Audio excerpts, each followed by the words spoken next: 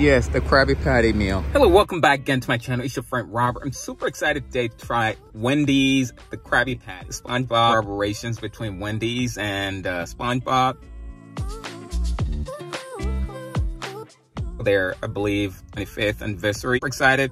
Let's try out and see if it's worth it. Thank you for choosing Wendy's. Pineapple uh, frosty. Please. All right, so what we're gonna do first, we're gonna try this little frosty right here. But it's a pineapple and vanilla. So let's give it a shot and, and see if it's really worth it. Cheers. Sweet, creamy. It up a little bit with this little bit of uh, pineapple on the bottom. Pineapple syrup. You can see it right there on the bottom. Pineapple. Look at that. That's really good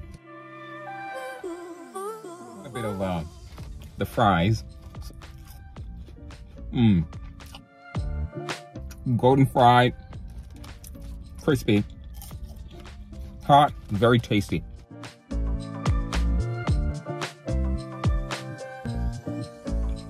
That's really good. I'm gonna dip a little bit of that uh, fry inside the frosty. Oh yeah. What I like about the Wendy's fry, you make them fresh. Not greasy, they're not salty. Krabby Patty. It's a single Krabby Patty. Bun, tomatoes, onions, lettuce, juicy patty right there, right there. Very good, right?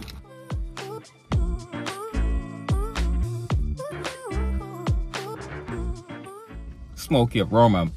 Of course, you got the fresh tomatoes, lettuce, onions, very crunchy.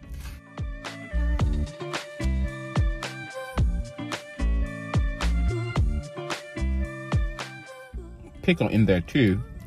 Wendy's, my childhood memories with this crab patty. If you happen to be anywhere closer to Wendy's, you definitely need to check it out. $8 for this meal. Worth it, 100%. Diet Coke right there. Oh, that was good. Comment and let me know what you think of today's video. Would you try the Krabby Patty? Till next time, thank you again for tuning in. Thank you for watching, but I'll tell you, the Krabby Patty, Wendy's, 100% worth it.